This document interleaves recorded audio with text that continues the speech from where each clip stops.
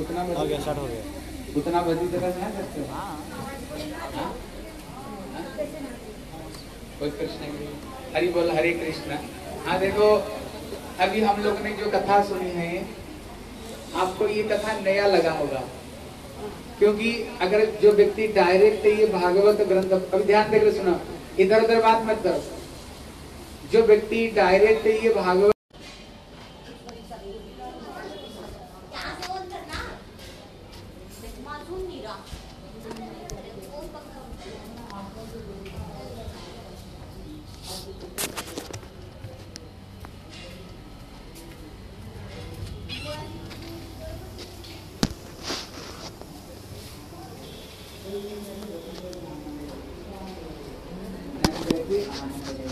इसलिए हमने अभी जितने कथा सुनी है हैं कृष्ण कैसे गोकुल में गोकुल में कृष्ण कैसे आए ये कथा सुनी है इसको हमारे श्री जीव गोस्वामी, हैं?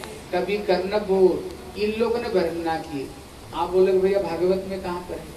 हाँ देखो, भागवत में कहाँ कहाँ पर ये, हमारे बड़े गुरु जी जिसका प्रमाण देते थे। ये गोपी गीत का जो पहला श्लोक है, जानते हो गोपी गीत का पहला श्लोक क्या है?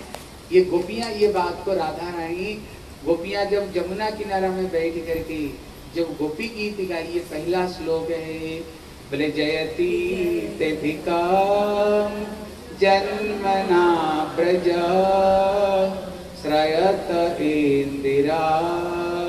शाश्वत ही। गोपियाँ कह रही हैं।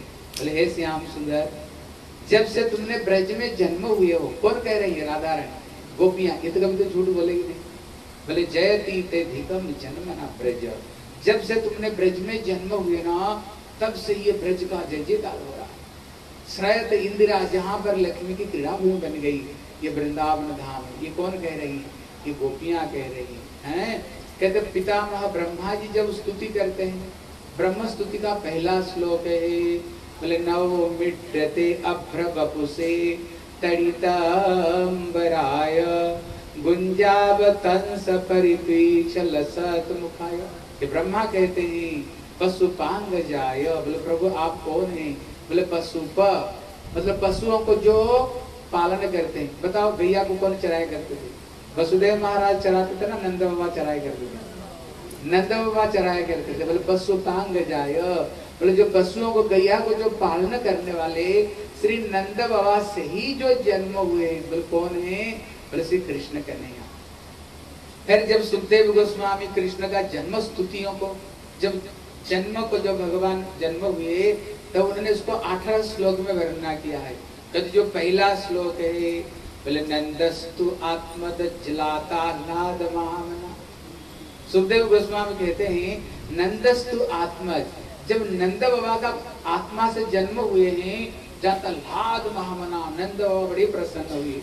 इसलिए कहते हैं, नंद के आनंद भयो, जय कन्हैया लाल की। हैं? इसलिए कहते हैं, जब श्री वसुदेव महाराज कृष्ण का उनके नामकरण कर रहे थे वो भी कह रहे हैं, बोले श्री नंद, बोले ये जो बेटा है ना, प्राग अयम वसुदेव क्वचित जात तवात्मज। ये बेटा तुम्हारा है, लेकिन उसने कभी वसुदेव का भी बेटा बना है।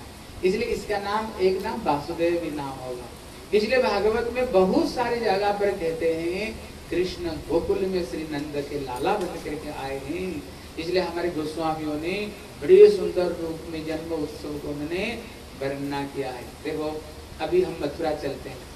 जिस समय वसुदेव महाराज, श्री वसुदेव महाराज, उन्होंने कहते गोकुल में दो संतान हुए हैं।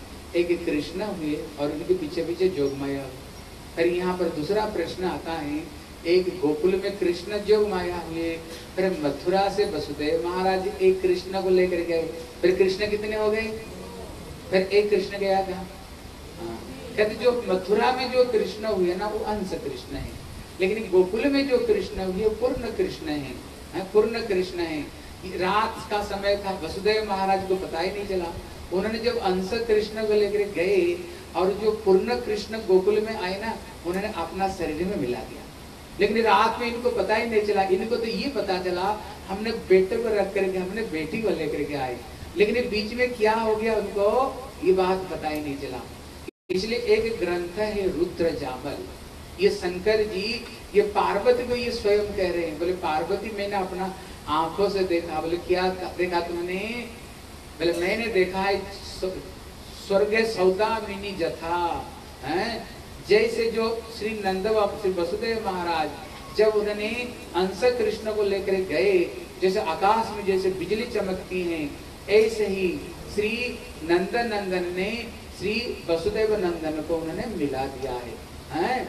इसलिए रुद्र जामल में शंकर जी माता पार्वती को भी यही बात कहते हैं। इसलिए बहुत सारे शास्त्र में सब प्रमाण आती हैं। अभी चलो मथुरा में, जिस समय वसुदेव महाराज उन्होंने बेटी को लेकर के आए, अंदर में प्रवेश करते ही बेटी ने रोने लग गया। पहरादार जाकर कंस को शिकायत की, कंस भागते भागते आया। देवकी ने बड़ी प्रार्थना की, तू मेरे छह छह बच्चों को मार डाले एक बच्चे को छोड़ दे। लेकिन कंस कहाँ छोड़ने वाले? लेकिन अभी तक तो वो थी जोग माया। लेकिन कंस पकड़ते ही होगी महामाया। क्यों? जो जोग माया को कंस राक्षस है, वो स्पर्श नहीं कर सकता है। महामाया हो गई। जब उसने पछाड़ने के लिए गया, इतने में उसने चरण के ठोकर मारे तो वहीं पर वो लुढ़क गिरा इतने में आकाश में जाकर के अष्टभुजाओं को धारण करते हुए बोली रे मुझे कंस, तुम मुझे क्या मारोगे? तेरे को मारने वालों का अन्यत्र जन्म ले चुका सही बताया। वो भी सही बता दे, अन्यत्र जन्म ले चुका है। कहाँ पर जन्म हुए? गोकुल में ले जन्म ले चुका गोकुल में जन्म ले चुका। उसने देखा, ये तो मेरी कुल देवी ये तो कभी झूठ बोल ही नहीं सकती है। फिर उसने पूरा पुतना अघास बकासुर को बुलाकर मीटिंग किया।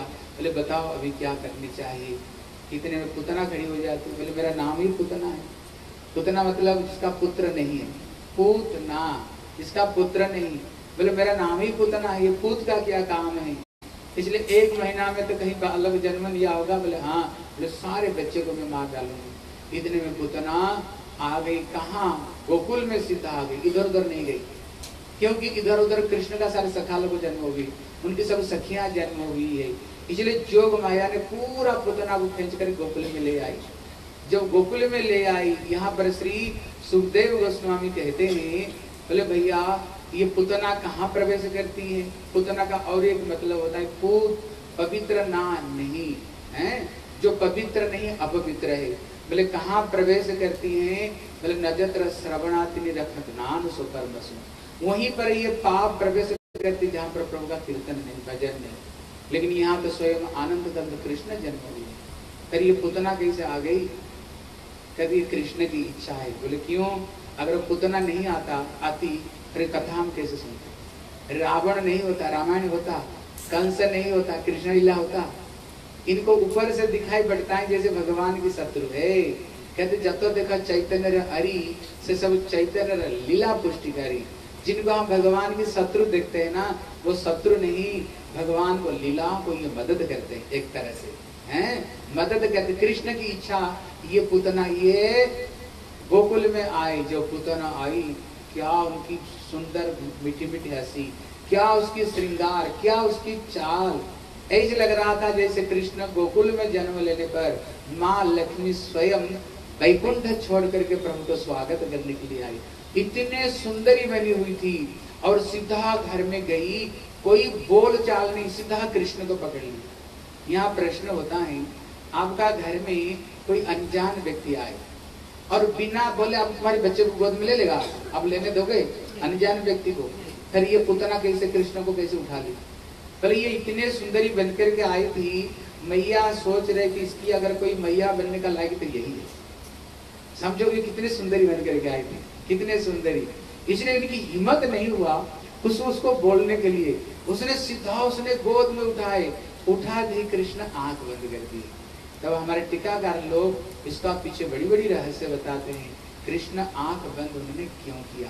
है? इसमें तो बल्लभाचार्य ने तो दस बार कारण बताए। हमारे विश्वनाथ ठाकुर पाँच, छह कारण बताए। हम भी दो तीन कारण सुनते हैं। कल आप आपको मैं पूछूँगा, आज सुन लो आप। पहला कारण है, भगवान जगत में आए क्यों? इसलिए आए, परित्राण साधुना विनाशाय दुष्टिका भगवान इसलिए जगत में आए। दुष्टों को संघार भक्तों को रक्षा करने के लिए। अभी प्रभु श्री गणेश करने जा रहे थे, हैं? पहले, सबसे पहले इसको मारेंगे। लेकिन वो माँ की रूप धारण करते हुए आए। भगवान संहार करने पर भी, लेकिन भगवान बड़े दयालु हैं। अभी सोच रहे हैं, जो भी कुछ हो, ये तो मेरी मैया की रूप धारण करके आई ना। अभी उसको मैं मारूँगा। मारूँगा तो ये छटपट आएगी। अभी उसका दुख को मैं देखूँ कैसे? इसलिए भगवान ने आँख बंद कर दी। दूसरा कारण है बोले आई क्यों? बोले बच्चों को मारने के लिए बोले ब्रज में जितने सब बच्चे हैं, कोई ललिता, कोई विशाखा, कोई कृष्णा, दाम वसुदाम सब मेरे सखा हैं। बोले तुम मेरे सखा को मारने के लिए यहाँ पर आए हो, इसलिए मैं तुम्हारा मुँह देखना नहीं चाहता हूँ, इसलिए भगवान आँख बंद कर दी तीसरा कारण बताए, कहते तुम कपटी हो ऊपर में तो माँ की रूप धारण करके आई, लेकिन अंदर में तुम स्तन में जहर जहर को तू लेकर के आए, तुम कपटी हो। कपट व्यक्ति का मैं मुँह नहीं देख सकता हूँ। इसलिए भगवान ने आँख बंद कर दी। चौथा कारण बताए बच्चों का एक स्वभाव है। अपना परिवार के लोग हो ना, उनको सामने तो खेलते कूदते हैं। लेकिन कोई अनजान व्यक्ति हो, डर जाते हैं बच्चे। तो ये तारी के कहाँ से आ गई? उसको कभी देखो ही ना, है? तो कहाँ से आ गई? इसलिए भगवान ने क्या किया? आँख बंद कर दिया। छठवा कारण बताए, बोले, भैया पूर्व जन्म में इसने क्या पुण्य किया है? बोले, क्यों? बोले जन्म जन्म मुनि जतन कराई अंतराम कही आवत नहीं लेकिन उसने इसे क्या पुण्य की मैं जो परम ब्रह्म हूँ मेरे को ये गोद में उठा रही है इसलिए भगवान आँख बंद करके इनके पूर्व जन्म को देख रहे थे बोले सचमुच से ये पुण्य की बोले कौन है बोले श्री बलि महाराज का बेटी रत्नमाला थी जब भगवान बामन अवतार लेकर आए थे इनके मन में इच्छा हुई थी, अगर मेरे लाला बन करके आता तो मैं इनको स्नान पान कराती, बोले, वही अभी ये पुतना बन करके आई है। उसका छठवा कारण बताए, भगवान के गर्भ में अनंत कोटि विश्व ब्रह्मांड है। भगवान अगर जहर पान करेंगे तो क्या होगा? सारा विश्व ब्रह्मांड ध्वंस हो जाएगा। इसलिए सारा विश्व ब्रह्मांड घबरा गए, बोले, हे प्रभु, आप इसकी स्तन मात पान मत करो। के बोले, जहरी जहर है। अगर आप जहर पियोगे ना, आपका गर्भ में विश्व ब्रह्मांड ध्वंस हो जाएगा, सब के सब घबरा उठे इतने में भगवान ने श्री शंकर जी को याद किया। बोले, भोले बाबा, जल्दी जल्दी आओ। बोले, क्यों? बोले, तुम्हारा काम है बीस पीना और मेरा काम है दूध पीना। आप तो बीस बीस को पी लो और मैं दूध दूध को पी लेता हूँ। इसलिए उन्होंने आँख बंद करके भोले बाबा को याद किया। इतने में जब उन्होंने उनको मुँह में स्तन दिया कृष्ण स्तन किया पान करके उसको प्राण को शोषण की। पुतना ने कोशिश की छुड़ाने के लिए, लेकिन छुड़ा नहीं सके। बोले, क्यों? कृष्ण ने कहा, देखो, मैं सहज में किसको पकड़ता नहीं एक बार जिसको मैं पकड़ लेता हूँ ना, अभी तक मैंने कभी इसको छोड़ा ही नहीं। और तू स्वयं मेरी फिर माँ बन करके आई। फिर मेरे को गोद में ली और इतने प्यार की कि कभी मैं तेरे को छोड़ सकता हूँ। इसलिए तब तक नहीं छोड़ूँगा, जब तक मैं अपना धाम में नहीं पहुँचा देता हूँ। उसने कोशिश की, उसने छुड़ा नहीं सकी। इसका शिक्षा देते हैं, भगवान कहते हैं, सकृत एव प्रपन्ना जस्तवाम स्मितत जाचते अभयम सर्वदा तस्मय ददाम एतत् प्रथमम। इसका मतलब है, एक बार अगर कोई बोल दे ठाकुर, मैं तेरा और तू मेरे हो। केवल एक बार बोल दे, भगवान कहते हर समय में अपना चरण में स्थान देता हूँ। अभी पुतना सोच रही है, अगर मैं मथुरा चला जाऊँ ना, भैया कंस कुछ करेगा। इतने में धीरे धीरे पुतना अपना स्वरूप में आ गई। क्या भयंकर उसकी रूप थी। कृष्ण को लेकर के आकाश में उड़ चली। कृष्ण बोले, कहाँ चल जाओगे? तुम मेरे चरण में आए ना, इसलिए मैं तेरे को जाने नहीं दूँगी।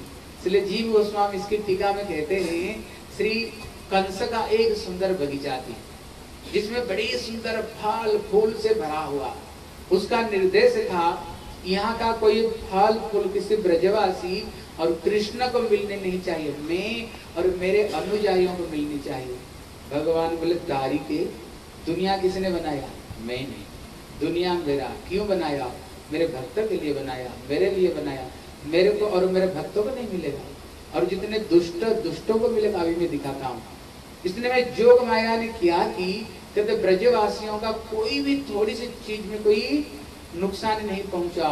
उनने पुतना को लेकर उसी बगीचा में ले गई और कितने बड़ी थी बोले, त्री गभ्युद्ध कोई कहते कहते अठारह मील हैं? कोई कहते छब्बीस मील थी। और उसको लेकर के ऐसे बगीचा में धड़ाम करके गिराए। जितने सारे पेड़, पौधा, फल, फूल को सत्यानाश कर दिया। हाँ देखो यहाँ से एक शिक्षा लेकर के जाओ। कम से कम सात दिन कथा सुनो भाई एक चीज़ लेकर के जाओ। ये उपनिषद कहता है कहते ईशावास्यम विदम सर्वम, जत किंचा जगत जगत। मतलब है, ये जगत में हम जो चीज़ देख रहे हैं भगवान ने बनाया। ये हमने कोई चीज़ नहीं बनाई। किसने बनाया दुनिया को? भगवान ने बनाया। इसलिए भगवान कहते, तेन त्यक्तन भुंजी था जब कोई चीज़ को ग्रहण करो, पहले भगवान को भोग लगाओ। ठाकुर जी को पहले भोग लगाओ भोग लगा करके उसको मेरे प्रसाद रूप में ग्रहण करो। इसलिए कृष्ण कहते हैं प्रसाद सर्व दुखा नाम हानि रस से उपजाए। मतलब है जो व्यक्ति भगवान को भोग लगा कर खाएगा उसका घर में कहीं दुख कष्ट नहीं हो सकता। घर में कभी कोई दुख कष्ट घर में नहीं आएगा। घर में शांति सुख बन जाएगी क्यों? हाँ एक चीज़ को समझो बोले कारण है हर चीज़ हम पैसा से खरीदी करते हैं। किससे पैसे खरीदी करते हो? पैसा लक्ष्मी। लक्ष्मी, हमारी ना लक्ष्मी नारायण की बताओ। नारायण की।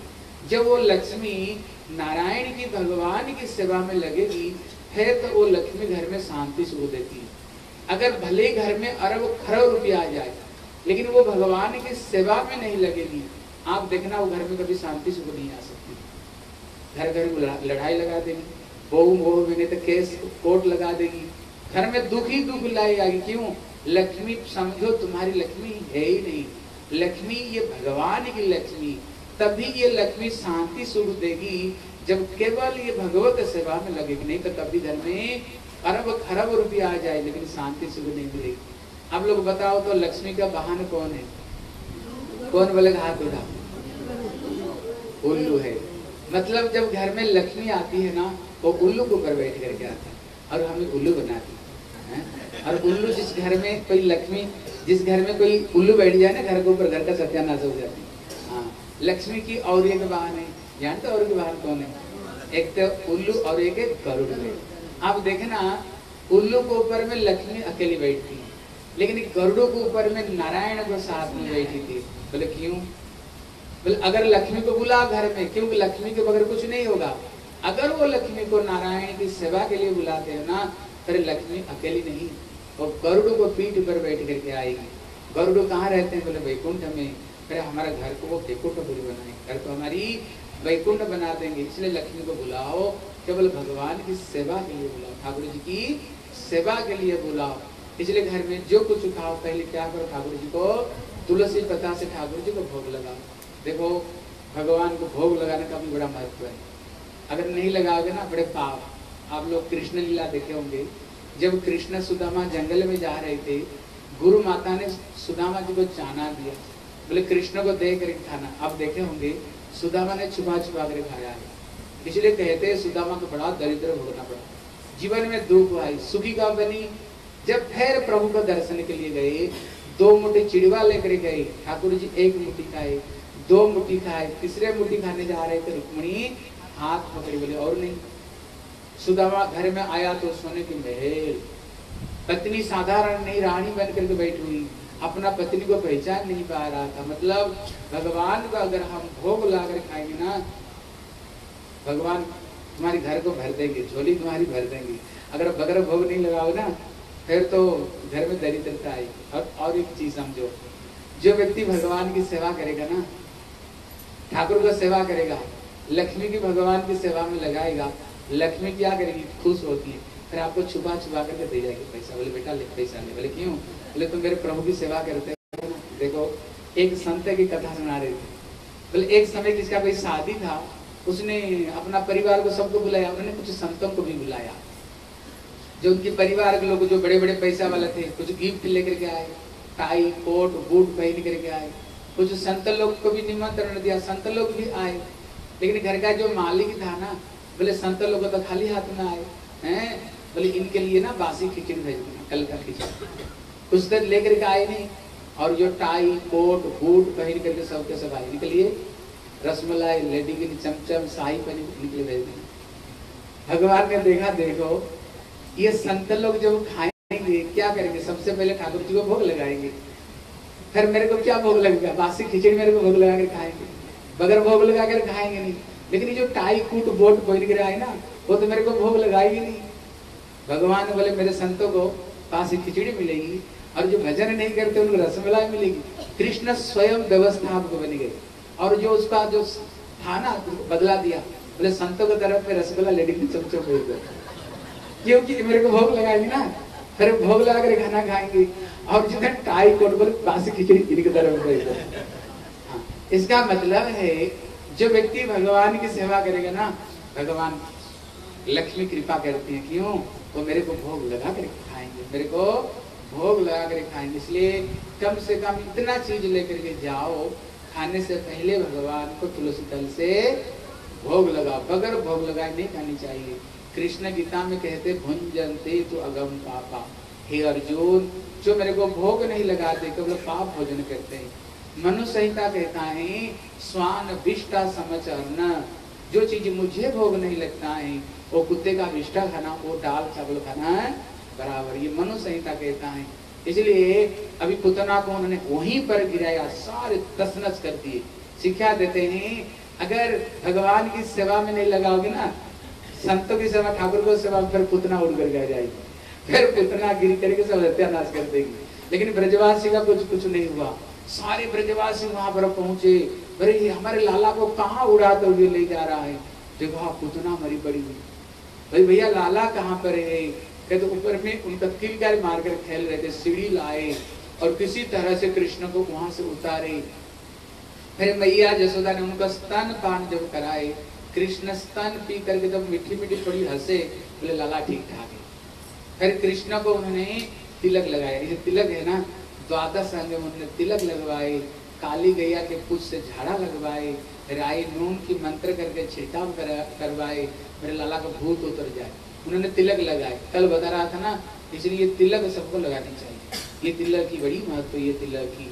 आप कृष्ण को देखो तिलक लगाए। राम को देखो तिलक लगाए। नारायण को तो, तो तिलक भगवान भी तिलक लगाते हैं। खैर उन्होंने बोले इतना बड़ा शरीर को क्या किया जाए? बोले आग लगाओ बोले इतने लकड़ी कहाँ से आएगी? पहले इसे सारे पेड़ टूट गया था, जो मैं व्यवस्था कर रखी थी। जब आग लगाए, वहाँ से अगुर कर्पूर चंदन की खुशबू आ रही थी। बोले, क्यों? बोले, भगवान उनके स्तन को भगवान ने पान किए यहाँ पर श्री सुखदेव गोस्वामी एक सुंदर श्लोक कह रहे बोले, भैया, भक्ति करना तो कृष्ण को ही भक्ति करो। इधर उधर देवादेवी को भक्ति मत करो। मना करते हैं। बोले, क्यों? कारण क्या? देखो, सुखदेव गोस्वामी क्या कहते हैं। बोले, पुतना लोक बालाग्नि राक्षसी रुधिरासना जिज्ञासया हरे, स्तनम तत्व अपसत गति। कहते, पुतना को अंदर में सारी दुर्गुणी है। पहला नंबर पुतना। पुतना मतलब जो पवित्र नहीं। दूसरे नंबर में राक्षसी। तीसरे नंबर में बच्चों को खून पीने वाली। चौथे नंबर में भगवान के लिए जहर लेके खाएगी लेकिन देखो, भगवान कितने दयालु है। कहते गुना अवगुना प्रभु, देखो इना काम। भगवान इसकी अवगुणों पर नज़र नहीं देते हैं। लेकिन उसने जो थोड़ा नाटक उन्होंने की थी, एक सेकंड के लिए कृष्ण को पुत्र रूप में केवल दर्शन की। बोले, ऐसे लाला को थोड़ी पलने में झुलाते हैं। उसको गोद में तो प्यार करनी चाहिए। भगवान क्या किया? उसको गोलोक वृंदावन में ढाई मैया के स्थान दे दी। तब हमारे टीकाकार कहते हैं, पहला नंबर पुतना, जो अपवित्र थी। अगर कोई भगवान के पास में थोड़ा स्नान करके, थोड़ी वस्त्र, नए वस्त्र धारण करके आ जाए, फिर ठाकुर उसको क्या नहीं दे भगवान के लिए लाए थी क्या? बोले, बीस। अगर बीस लाने वाले व्यक्ति को अगर इतना बड़ा पोस्ट दे दे, अगर भगवान के लिए कोई एक फूल लेकर के आ जाए, नहीं तो भगवान के लिए एक फल लेकर कोई आ जाए, नहीं तो उनको प्यारा चीज़ जो मक्खन मिश्री लेकर के आ जाए, फिर उसको भगवान क्या नहीं देंगे? उसको क्या नहीं देंगे? तीसरी नंबर में वो थी राक्षसी। अगर एक राक्षस आने पर भगवान उसको इतने बड़े पोस्ट दे सकते हैं, अगर कोई कोई इंसान आ जाए, नहीं तो उनको कोई भक्त आ जाए, फिर भगवान उसको क्या नहीं देंगे? बोले, क्यों पुनः श्रद्धा भक्त्या कृष्णाय परमात्मनी? अगर कोई श्रद्धा पूर्वक भगवान के पास में आए, फिर ठाकुर उसको क्या नहीं देंगे? देखो, कृष्ण भक्ति में ये विशेष गुण है। लेकिन ये अगर कोई दूसरे देवा देवी को पूजा करो अगर तुम्हारी पूजा में थोड़ी सी इधर उधर हो जाए थोड़ी सी केवल इधर उधर हो जाए बोले देना का देने का लेना पड़ जाएगा लेना को देना पड़ जाएगा। क्योंकि जो दूसरे देवा देवी है ना ये तुम्हारी अपराध को माफ़ नहीं करेंगे। वो उल्टा पुल्टा होते ही झक उल्टा रिएक्शन होगी। लेकिन कृष्ण में क्यों नहीं होगा? बोले कृष्ण हमारी पिता माता है, हमारी माँ है। जैसे कोई बच्चा अगर मैया की गोद में टाटी पेशाब कर दे अब बच्चे को फेंक देते हो? किसको साफ़ सुथरा करते हो। इसलिए कृष्ण हमारे पिता माता है। इसलिए थोड़ी सी गलती होगा ना, ठाकुर जी, तुम्हारे दोष दोष की तरफ़ नज़र ही नहीं देंगे।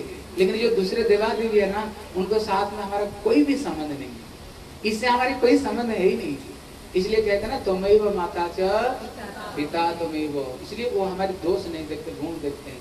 इसलिए अभी प्रश्न है, अरे कृष्ण छह दिन में ये पुतना को क्यों मारे कितना दिन में मारे? कृष्ण के जब छह दिन में पुतना को क्यों मारे? हमारे टीकाकार लोग कहते हैं, जब कृष्ण गोकुल में जन्म हुए, पूरा ब्रज में हला हो गया।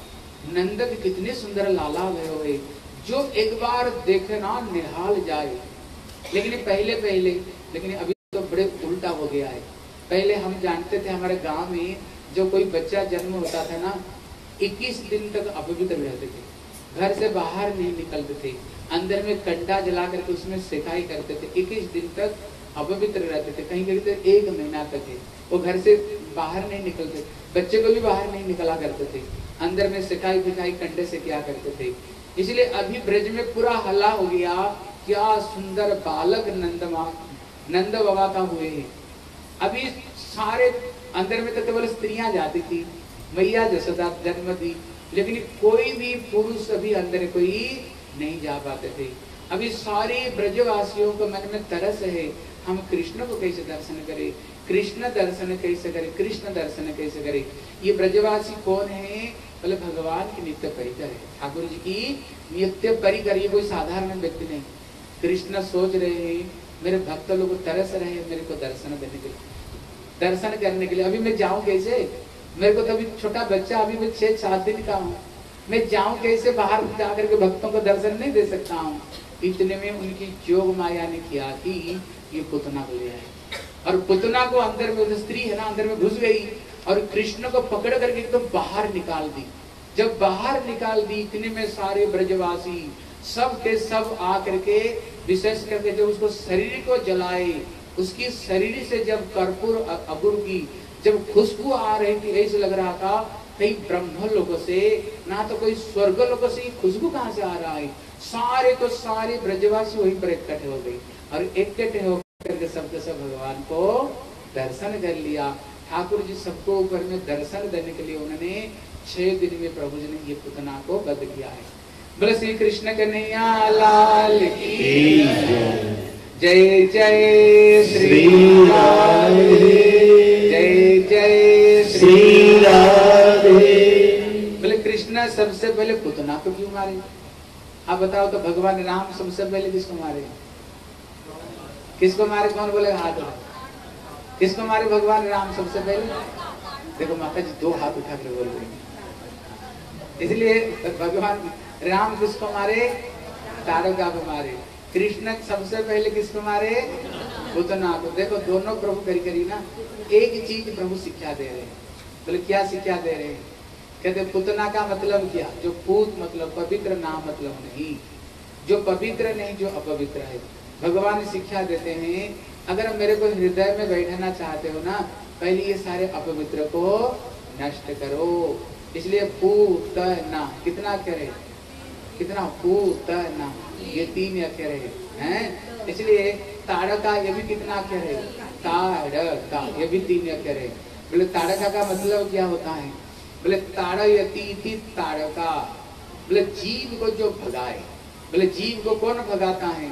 काम, क्रोध, लोभ, मोह, यही चीज़ ही जीव को भगाता रहता है संसार में।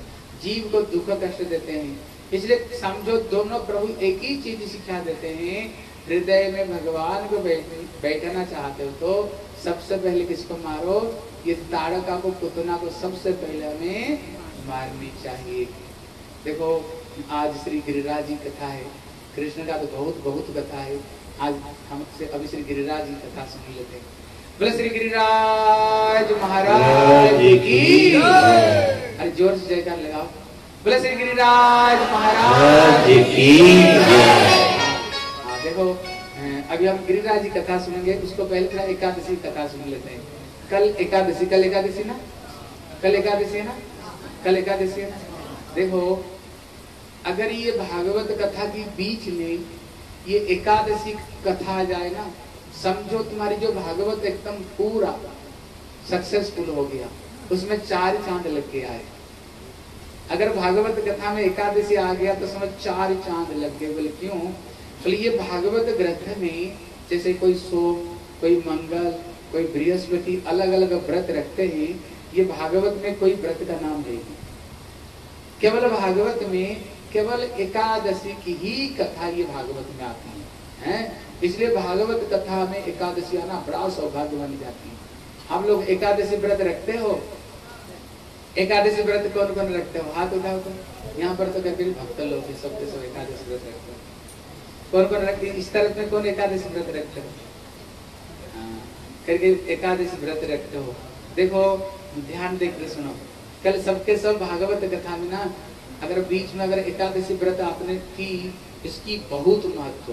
और विशेष करके ये महीना का कौन सा महीना है? पुरुषोत्तम महीना है। भगवान स्वयं ये तिथि का नाम, ये महीना का नाम, अपना नाम श्री पुरुषोत्तम नाम उन्होंने दिया है। और ये पुरुषोत्तम महीना में फिर एकादशी व्रत, समझो, सोने में सुहाग आई है? इसलिए हम थोड़ी सी एकादशी कथा सुनते हैं। कि जो एकादशी व्रत है, इसको बताया ये कल्प तरु व्रत है। इसको बताया कल्प तरु व्रत। कल्प तरु मतलब है, एकादशी व्रत करके आप जो कुछ मांगोगे, आपको सो मिल जाएगा सब कुछ एकादशी व्रत से मिल जाती है। जैसे कोई सोम, मंगल, बृहस्पति रखते हो, उसका कोई एक ही फल होगा। लेकिन ये छब्बीस एकादशी और छब्बीस एकादशी, जब पुरुषोत्तम महीना ट्वेंटी सिक्स एकादशी छब्बीस हो जाती है।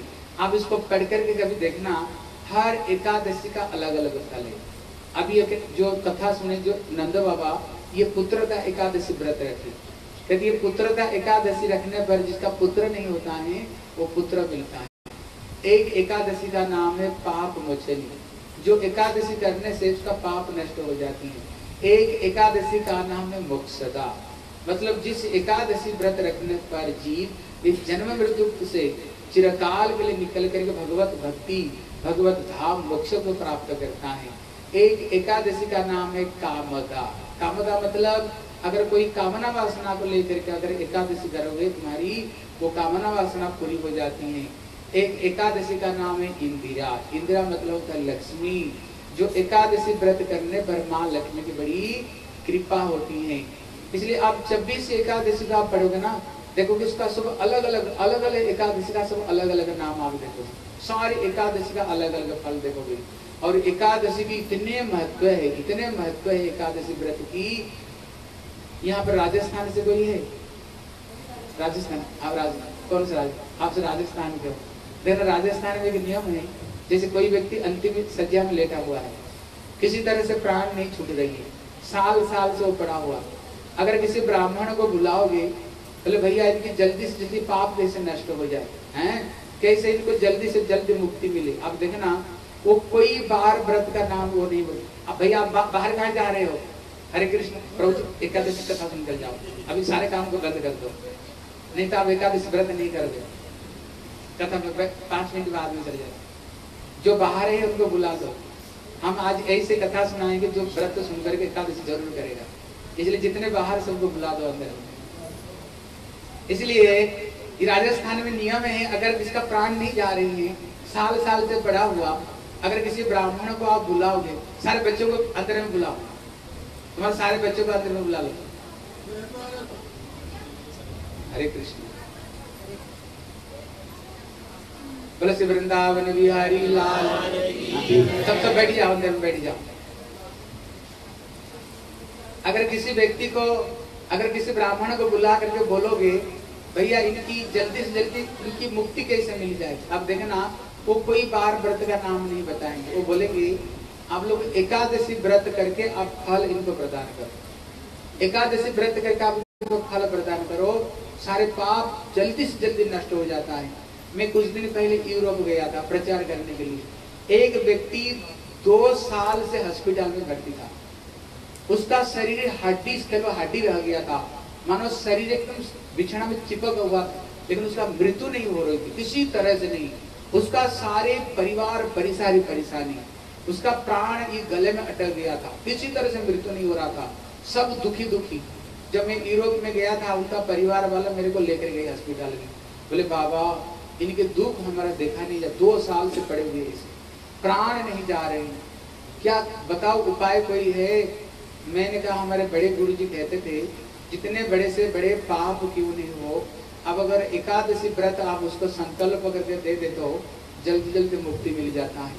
इसलिए आप संकल्प करके एकादशी की व्रत फल देना बोले, बाबा, एकादशी अब दस दिन बाकी है। लेकिन एक एक दिन बीतना इनके लिए बड़ा कठिन हो रहा है। मैंने कहा, एक काम करो, पूरा परिवार आप एकादशी आप करके फल आप दोगे, आज ही संकल्प कर लो। बोला, हम सबके सब एकादशी व्रत करके इनको फल देंगे। फिर उनको हाथ में फूल दिया। स्वस्ति वाचन पढ़ करके सब इनको दो, अब संकल्प करो, हम सब मिल करके एकादशी का व्रत देंगे।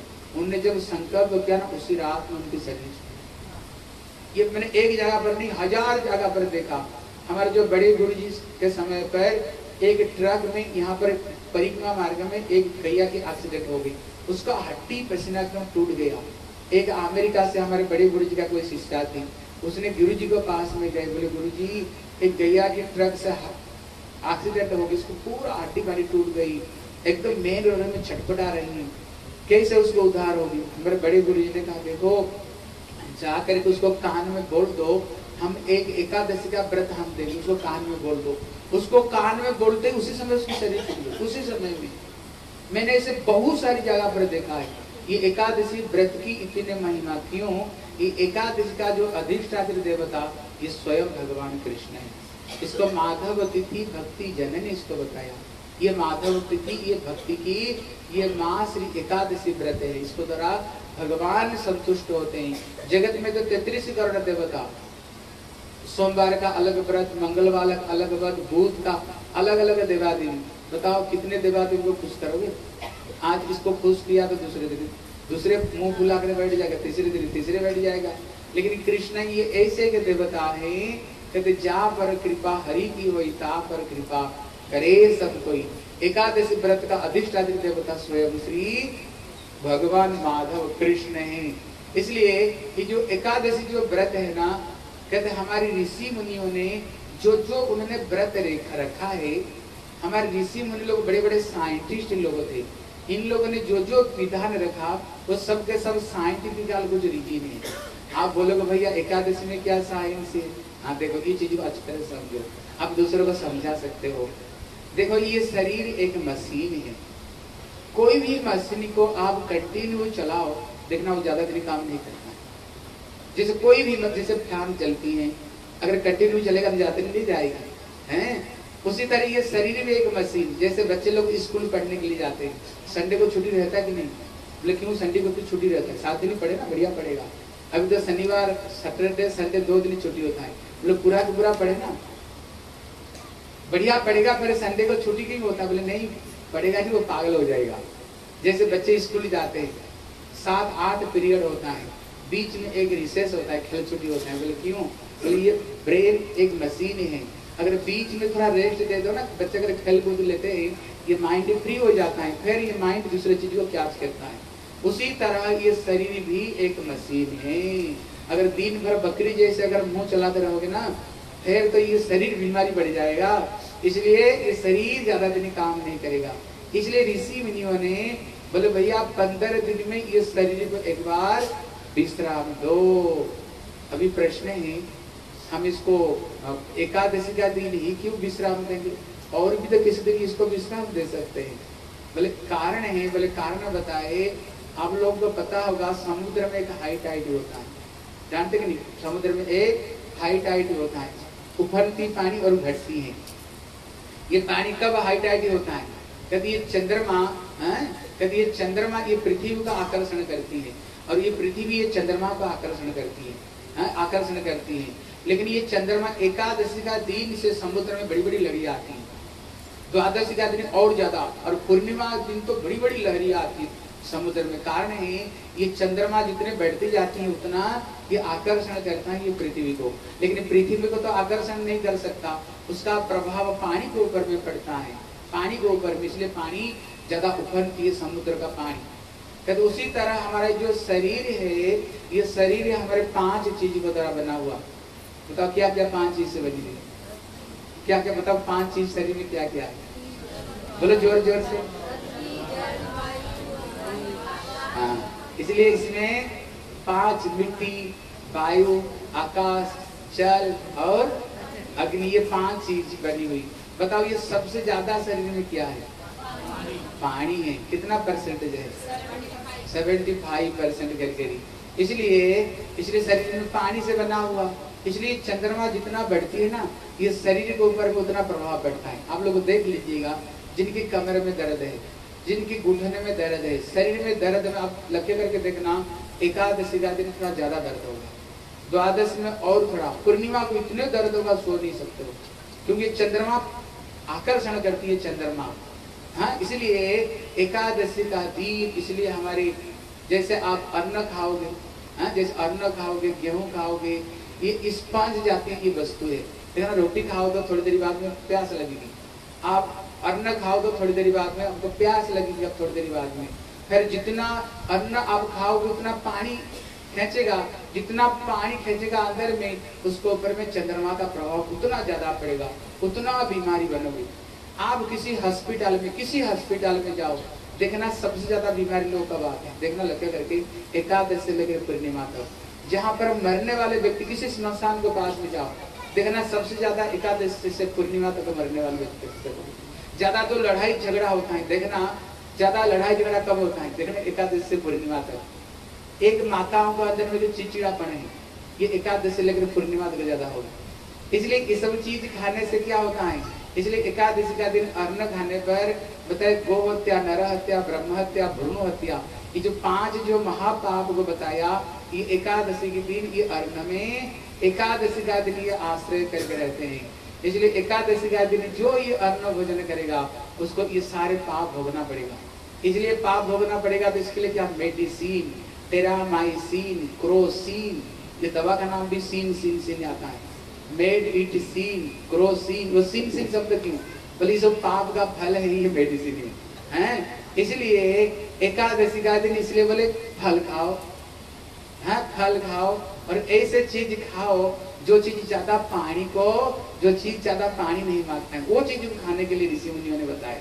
इसलिए कल श्री एकादशी व्रत है, कोशिश करना बारह बजे तक कुछ नहीं खाने के लिए। बारह बजे तक तो कुछ नहीं खाने के लिए। उसको बाद में जैसे फलाहार है, हैं? जो फलाहार कर सकते हो, फलाहार करना। जैसे खाने के लिए तो बहुत, हमारा जो मंदिर में ना, हमारे भक्त लोग कहते भैया एकादशी कब आए बोले, क्यों? बोले एकादशी के दिन देखो पकौड़ा भी बनता है। कभी फ्रूट की भी बना देते हैं मूंगफली सब्ज़ी। एकादशी के दिन बढ़िया से बढ़िया खा सकते हो, इसलिए कोई चिंता नहीं, खाने के लिए चिंता नहीं। लेकिन आपको अन्न ही मत खाओ, जैसे गेहूँ है, दाल है, हैं कई सरी सरिस जाती है वस्तु है जॉब जाव है, इसलिए ये सब चीज़ को एकादशी का दिन अन्न जातीय वस्तु ग्रहण नहीं करनी चाहिए। खाने के लिए तो बहुत सारी चीज़, दूध, दही, फल, फूल खाने के लिए बहुत सारी चीज़ें। लेकिन केवल अन्न भोजन नहीं करनी चाहिए, ठीक है ना? और कल एकादशी आएगी, कल में सुंदर सुंदर कथा सुनाऊँगा। कैसे पति पत्नी उनको पता ही नहीं था जी एकादशी। सबर लग गई लड़ाई। अब देखना, कभी जो मान हो जाए ना संसार में पति पत्नी की, दो दो तीन तीन दिन में खाना नहीं खाते, हैं? अगर कभी संसार में लड़ाई हो जाए तो। इसलिए उनको पता ही नहीं था आज एकादशी, सवेरे सवेरे लड़ाई हो गई। उन्होंने मान करके उन्होंने दोनों ही भोजन नहीं किया। और अगले जीवन में कभी राजा रानी बन करके जन्म हुए। है, राजा रानी बन करके जन्म हुए हैं। कल हम आपको बड़ी अच्छी अच्छी हम कथा सुनाएँगे। कौन कौन अभी भागवत में, लेकिन कुछ लोगों का भ्रम है। क्या भ्रम है? बोले, एकादशी तो विधवा करते हैं, सधवा नहीं करते बोले, नहीं, भागवत पढ़ करके देखो। अम्बरीश महाराज अपना पत्नी को साथ में इसी मथुरा में अंबर से टिला, यहीं पर उन्होंने एकादशी व्रत की, जहाँ पर से दुर्वासा ऋषि आए थे। नंद जसोदा एकादशी व्रत रखते थे। कथा भागवत में आती है रुक्मिणी सत्यभामा एकादशी व्रत रखी। अगले जीवन में भगवान की पटरानी बन करके आई। एक एकादशी आती है, पांडवा निर्जला, जिसको द्रौपदी, कुंती, पंच पांडवों को साथ में रखते थे। इसलिए ये सब कहीं भी बात लिखा हुआ नहीं। इसलिए आठ साल से लेकर अस्सी साल तक एकादशी व्रत हम कर सकते हैं यहाँ फिर लोगों को और एक प्रश्न आता है, कहते इसका उद्यापना फिर करना पड़ता है। लेकिन भक्ति जगत में उद्यापना नहीं है। क्योंकि एकादशी कौन है? ये साक्षात भक्ति स्वरूपिणी ये राधा जी की स्वरूप एकादशी है। राधा रानी को थोड़ी हम त्याग दे देते, राधा रानी को। अपना मैया को थोड़ी आप त्याग दे देते हो। इसलिए भक्ति जगत में कोई उद्यापना की बात नहीं है। जितना दिन तक समर्थ आप, उतना दिन तक एकादशी कर सकते हो। इसलिए कल एकादशी, कल और विशेष करके कल कल एकादशी अधिक महीना में इसका बड़ी पुण्य है। ठीक है ना? कल सबके सब एकादशी व्रत करना। कल कोई भी एकादशी का दिन अन्न मत खाओ और यहाँ पर तो प्रसाद बनाएँगे बढ़िया प्रसाद बनाएँगे। ठीक है ना? यहाँ तो प्रसाद बनेगा इसलिए कोई चिंता मत करो। बोले श्री एकादशी व्रत की हाँ, अभी गिरिराज की कथा सुन लो बोले श्री गिरिराज महाराज की जय। जय श्री राधे। हाँ देखो ये जो गिरिराज की महिमा बड़ी अच्छी अच्छी पुराण में ये कथा आती है। विशेष करके गर्ग संहिता में इसकी बड़ी सुंदर सुंदर कथा आती है। बोले आप लोग कौन कौन गिरिराज गए हो? हाँ? गिर, गिरिराज कौन कौन आप सबके सब करके हम लोग ने गिरिराज गए हैं। बोले भैया ये गिरिराज आए कहाँ से? ये गिरिराज पर्वत किया है। इनकी बड़ी अच्छी अच्छी कथा है। ये मोहित सुना सकता हूँ? गिरिराज एक इधर जल्दी आ जाए। जल्दी आ जाए। हर शहर यहाँ पर जल, जल, जल्दी फटाफट आज इधर आ जाओ हो नहीं। दोनों दोनों को देख देख देख, देख लो हाँ। आप तो पाँच मिनट पाँच मिनट सुना रहा था। हरे कृष्ण। जल, जल्दी जल्दी आ जाए हरी बोल इधर आ जाओ। हाँ देखो जो गिरिराज का एक नाम है सर्व अभिष्ट प्रदाता इसका मतलब क्या है? कभी गिरिराज से आप जो कुछ मांगोगे, गिरिराज हमारे सारी इच्छाओं को पूरी करने वाले भगवान जब इसी जगत छोड़ करके गए, हमारे लिए केवल तीन चीज़ को उन्होंने छोड़ कर गए। बोले क्या क्या छोड़ कर गए? एक तो ये गिरिराज गोवर्धन छोड़ कर गए। दूसरी चीज़, ये जमुना पटरानी छोड़ कर गए। तीसरी चीज़, ये ब्रजभूमि। भगवान के समय से यही तीन चीज़। जगत में प्रभु बद्ध जीव के कल्याण के लिए छोड़ कर गए। बोले ये यमुना पटरानी कौन है? बोले भगवान की प्रेम जब द्रवीभूत तो होकर के पानी रूप में बहती है, ये श्री यमुना पटरानी बोले गिरिराज कौन है? बोले भगवत प्रेम जब एक जगह पर जम जाए, जब ये जमा हुआ रूप होता है, ये श्री गिरिराज गोवर्धन है। हैं? इसलिए इनका नाम सर्व अभिष्ट मतलब सारी इच्छाओं को ये पूरी करने वाले आप लोग गोवर्धन गए होंगे, देखना, वो गिरिराज का पत्थर ऊपर पत्थर रखा हुआ देखोगे बोले, जानते हो क्यों पत्थर ऊपर पत्थर रखते हैं? बोले ठाकुर जी हमें इतने मंजिले मकान देना ठाकुर जी उसको उतना मंजिले मकान दे देते ठाकुर जी आप देखना, वहाँ पर पेड़ में धागा बंधा हुआ होगा, पेड़ में पेड़ बांधे हुए बोले, क्यों? बोले, जिनकी बेटी की शादी नहीं हो रही, जिनकी नौकरी नहीं लग रही है, जिनकी बिज़नेस फेल हो गया आप कोई भी इच्छा लेकर के जाओ, बड़े गुरु जी कहते थे, जब कोई व्यक्ति ये गिरिराज की परिक्रमा करते हैं, ठाकुर जी उसको पीछे पीछे पीछे पीछे घूमते हैं। ये मेरे से क्या मांगेगा? इतना कष्ट करके क्यों मेरी इतने परिक्रमा क्यों कर रही है? कितने ठाकुर जी दयालु है।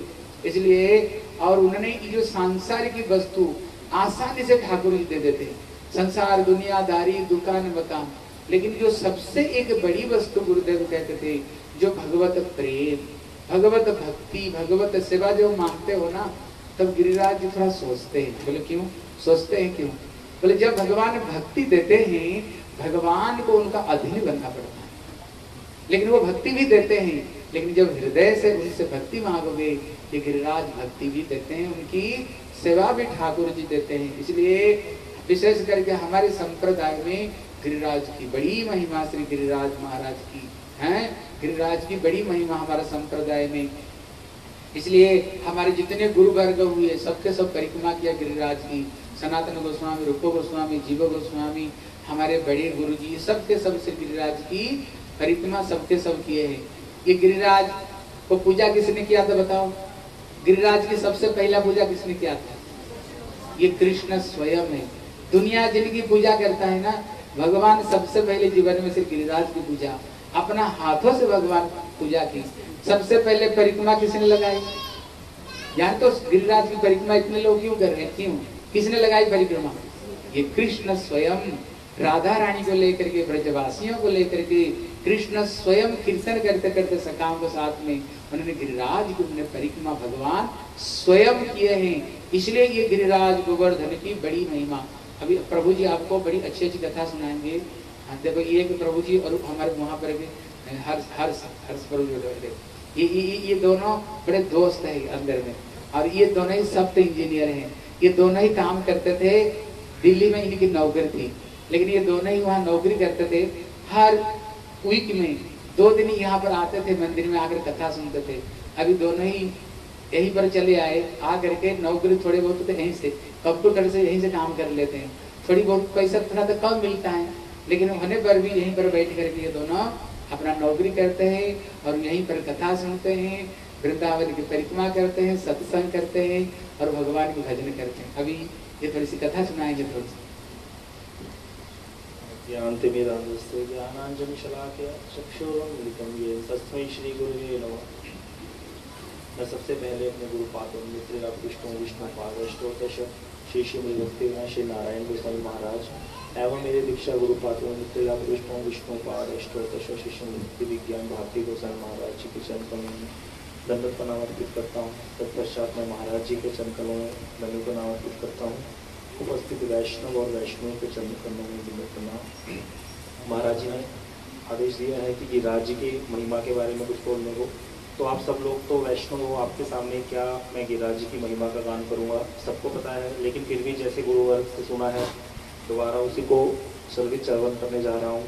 जैसे कि गिरिराज जी की लीला के कई कारण, जैसे भागवत में भी हम पढ़ते हैं तो बताए गए हैं कि गिरिराज जी जो भगवान ने, गिरिराज जी का जो लीला ये हुई, इसका मूल कारण तो जो भागवत में दिखता है, भागवत के अनुसार तो वही है कि इंद्र इंद्र का जो यज्ञ किया जा रहा था तो भगवान ने नंद बाबा को पूछा कि ये यज्ञ क्यों किया जा रहा है तो कहते, इंद्र जो है वो वर्षा करता है तो ये देता है तो इसको हम ढोल लगाते हैं इसके लिए सारे पकवान तैयार हो रहे हैं तो भगवान ने ये साबित करने के लिए कि देवी देवताओं की पूजा नहीं करनी, मेरी ही पूजा करनी है। तो भगवान ने इस इस चीज़ को दिखाने के लिए कि देवी देवताओं की पूजा से अच्छा है, मेरी पूजा करो। जैसे कहा गया ना भागवत में कि यथा तरो मूल विशेष ने तृप्यंती तत्स्कंद भुजोपशाखा प्राणोपहारा शथेन्द्रियनाम तथे सर्वा रहनम अच्युतेज्य। कि जैसे वृक्ष की जड़ में पानी देने से सब जगह पानी पहुँच जाता है और मुख्य प्राण मुँह में खाना देने से सब अंग पुष्ट हो जाते हैं। उस तरह से भगवान की भक्ति करने से सब प्रसन्न हो जाते हैं। तो ये चीज़ भगवान ने साबित करी थी कि जितने भी देवी देवता हैं तैतीस करोड़ देवी देवता हैं, उनकी उपासना से अच्छा है, मेरी ही उपासना करो। भगवान इस चीज़ को स्थापित करने के लिए भगवान ने क्या कहा कि गिरिराज जी ही हमारे इष्ट देव हैं। इंद्र क्या क्या इंद्र क्या सिफारिश करेगा। गिरिराज जी तो सारा कुछ देता है। गिरिराज जी पे पेड़ पौधे हैं, वही तो हमारी गैयों के लिए घास देता है। तो इसीलिए हमें इंद्र की पूजा ना करके गिरिराज जी की पूजा करनी चाहिए। तो ये चीज़ दिखाई भगवान ने। और उसके बाद फिर क्या हुआ? ब्रिजवासियों ने भगवान की बात मान ली और क्या किया? उन्होंने गिरिराज जी का पूजन कर दिया। गिरिराज जी को सारे भोग अर्पित कर दिए। तो इससे इंद्र ने क्या किया? कोप किया ब्रज पर। जब इंद्र ने ब्रज पर कोप किया तो ये चीज़ भी भगवान ने दिखाई कि अगर मान लो तुम मेरी पूजा करते हो, उसके बाद कोई देवी देवता तुम्हारे पीछे पड़ जाए तो फिर भगवान ने उस चीज़ के लिए उनकी रक्षा भी करके दिखाई। गिरिराज जी को धारण कर लिया सात दिन तक। सात दिन तक भगवान ने गिरिराज जी को अपने बाएँ उंगली, बाएँ हाथ की इस छोटी सी उंगली पे धारण करके दिखाया और दिखाया कि मैं अगर कोई बात कहता हूँ तो उसमें रक्षा भी करता हूँ। अगर कोई देवी देवता पीछे पड़ेगा भी तो बाद में उससे रक्षा भी मैं ही करूँगा। तो ये चीज़ भगवान ने दिखाई, ये सबको पता है। उसमें एक और कारण भी भाग में लिखा है कि नंद बाबा का जो धन था बहुत ज़्यादा बढ़ गया था। तो भगवान ने देखा कि नंद बाबा का कोष जो है बहुत बढ़ गया है, इसीलिए मुझे क्या करना चाहिए, बाबा का जो धन है, क्योंकि धन क्या है, ये बहुत बड़ी विपत्ति का कारण भी बन जाता है। धन अच्छा अच्छी वस्तु भी है, लेकिन धन बहुत बुरी वस्तु भी है। क्योंकि धन कैसा है जैसे रामायण में लिखा है तुलसीदास जी ने कि जब से रावण के सर काटे जा रहे थे राम जी तो तुलसीदास जी लिखते हैं, जैसे जैसे सिर काटते हैं, उतने ही सिर बढ़ जाते हैं रावण के। एक सिर काटते हैं, दूसरा सिर आ जाता है, दस सिर का रावण मरी नहीं रहा। तो वहाँ पे एक चौपाई है, काटे ही सिर पूरी बढ़ी जाई जिमी प्रति लाभ लोभ अधिकारी संसार में ऐसे ही होता है। जैसे जैसे रावण के सिर काट रहे हैं, वैसे बढ़ रहे हैं। कैसे? प्रति लाभ लोभ अधिकारी जितना हमें संसार में लाभ मिलता है लोभ उतना ही बढ़ता जाता है। हमारा लोभ उतना ही बढ़ता जाता है। इस चीज़ को भगवान ने यहाँ गिरिराज जी के पूजन के माध्यम से समझाया कि देखो, नंद बाबा का कोष जो बढ़ रहा था तो भगवान ने कहा कि पैसे ये हैं जो खर्च करवा देता हूँ। क्योंकि इतने बड़े गिरिराज जी हैं तो उनको कितना वो छप्पन लोग, यहाँ पे भी देखो कितना धन खर्च हुआ होगा। यहाँ पे तो वहाँ पे इतने सात कोष के गिरिराज जी उनको भोग लगाया तो कितना, कितने चावलों के पूरे पहाड़, तिलों के पहाड़, इतने इतने भोग लगा था गिरिराज जी को। तो वो जो भोग इतना गिरिराज जी को लगा तो इससे नंद बाबा का जो धन खर्च हो गया। तो इस मुकदमे से भगवान शिक्षा दे रहे हैं कि जो धन है, वो ज़्यादा संग्रह करके नहीं रखना चाहिए। इसको साधु, गुरु, वैष्णव की सेवा में खर्च करते रहना चाहिए। ये आता रहेगा। अगर इसको ज़्यादा तुम दबा के रखोगे तो ये परेशानी क्रिएट करेगा। इसके लिए एक छोटी सी कथा और याद आती है। एक बार कबीर जी कबीर जी क्या थे? कपड़ा बुनते थे जुलाहे काम करते थे। एक बार जा रहे थे तो उनकी माँ उनको बहुत बोलती थी कि तू सामने राम राम जपता रहता है, कुछ करता नहीं है और पैसे भी नहीं ज़्यादा कमाता। तो वो कहते थे, माँ चल रहा है ना काम तो राम राम जपो एक दिन वो किसी कहीं जा रही तो एक जगह बहुत सी अशरफियाँ पड़ी थी जंगल में। तो उसकी माँ ने कहा, बेटा, अशरफियाँ उठा ले। कहता, माँ, ये अशरफियाँ नहीं है तो डायन है। कहती, डायन है? तो तुझे डाइन दिख रही है, ये तो अशरफियाँ, इससे सारे काम बनते हैं, सारे संसार इसके पीछे भाग रहा है। कहता माम यही तुम छुप के बैठ जाओ, दिखाता हूँ मैं, ये डाइन सबको खा जाएगी देखना इतने में क्या हुआ कि वहाँ पे कुछ लोग आ गए, चार लोग आ गए, उन्होंने देख लिया। उन्होंने आपस में कहा कि, यार, चलो, ये धन अच्छा मिल गया, हमें, हम इसको बांट लेते हैं। तो, तो उन्होंने कहा हम चारों इसमें बांट लेते हैं। तो दो लोग जो थे वो रुक गए कहते हैं इतने में हम भोजन की व्यवस्था करके लाते हैं जो दोनों भोजन की व्यवस्था करने गए थे दूसरे थे पीछे बैठे थे उसने कहा अरे इन दोनों को क्या है? इनको फिर हम ऐसे ही मार देंगे अभी और हम क्या करेंगे? ये धन ले लेंगे। उन्होंने पहले से प्लानिंग कर ली। और जो वो दो गए थे वो खाने में विष मिला लाए अपना खाया इनको आ, आके विष वाला खाना दे दिया और जब ये लोग सो गए उन्होंने उनको भी मार दिया। वो विष वाला खाना खा के मर गए। तो देखा उन कबीर जी ने कहा देखा माँ ये डाइन खा गई ना चारों को खा गई। अब देखना अभी और करेगी ये। उसके बाद इतने में क्या हुआ कि वहाँ पे कुछ सैनिक वो वो लोग किसी सराय में जाके रुके थे। एक्चुअली कथा ये थी। तो सराय में जाके वो लोग चारों मर गए थे। अब सराय जो थी, सराय का जो मालिक था उसको पता चली तो बात पता चलते चलते राजा तक पहुँच गई। तो राजा ने कहा, ये जो धन है, इसको कोष में जमा करा दो। इतने में वो जो सराय थी, वो शहर के सरहद पे थी। जैसे जगह जगह लिखा होगा ना, यहाँ से किसी सिटी की सरहद शुरू हो जाती है, यहाँ से मथुरा शुरू हो गया, यहाँ से आगरा की शुरू हो जाती तो वहाँ पे ऐसी था। तो वो जो सराय थी वो उसका थोड़ा कंट्रोवर्सी थी कि इस जगह की है या उस ज़िले की है। तो दूसरे राजा ने भी हमला कर दिया कि ये तो हदन हमारा है। दोनों राजा आपस में लड़के मर गए। सारे सैनिक मर गए राजा भी मर गए। तो धन ऐसे का ऐसे ही पड़ा था। गोविंद जी ने कहा देखा हमारा डायन है ना सबको खा गई ये डायन। तो इस तरह से जो धन है ये जो धन है इसका ज़्यादा संचय नहीं करना चाहिए। तो इसीलिए कबीर जी ने वहाँ पे पद, पद दोहा लिखा था कबीरा सब धन निर्धना धनवंता नहीं कोई, धनवंता सोई कहिए जाके राम नाम धन हो वही धनवंता है जिसके पास भगवान के नाम का धन है। वही सच्चा धनवान है। तो ये भी गिरिराज जी की जो जो लीला हुई इसके माध्यम से भगवान ने। लेकिन हमारे गुरुदेव कुछ और बताते थे। गुरुदेव कहते थे कि गिरिराज जी की जो लीला है, इसका मूल कारण क्या था? विशेष जो, एक तो होता है मूल, मुख्य कारण, एक होता है गौन कारण। ये सारे तो गौन कारण थे। मुख्य कारण क्या था गिरिराज जी की लीला का? तो गिरिराज जी की लीला का मुख्य कारण ये था कि जैसे जैसे कृष्ण भगवान बड़े हो रहे थे, पहले तो जो राधा जी थी, उनके साथ मिलन उनका बड़ी आसानी से हो जाता था, बरसाना। बीच में साकेत में कहीं मिल लिए नंदगांव से। लेकिन अब जैसे जैसे बड़े हो गए थे तो थोड़ा संकोच करते थे।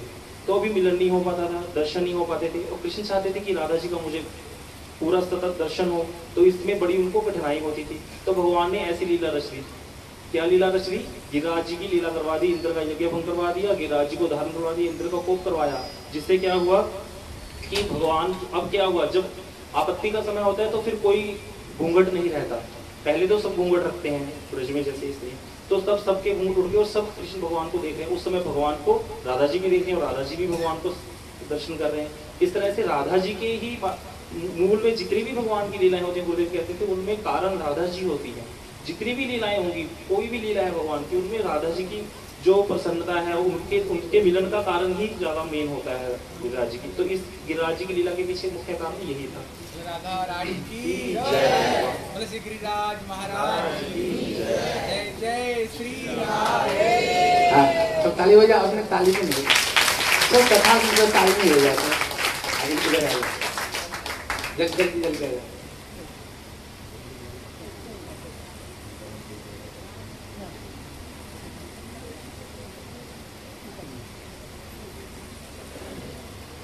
जल्दी ज्ञानतिमिरान्धस्य ज्ञानाञ्जनशलाकया चक्षुरुन्मिलितं येन तस्मै श्रीगुरुवे नमः।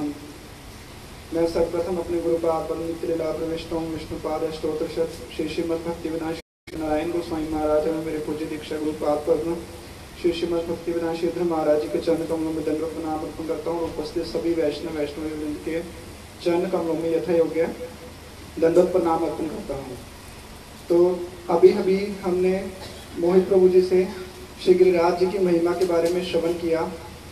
तो गिरिराज जी, जब भी भगवान लीला करते हैं तो भगवान के सभी परिकर भी जो हैं, इस धराधाम पर प्रकट होते हैं।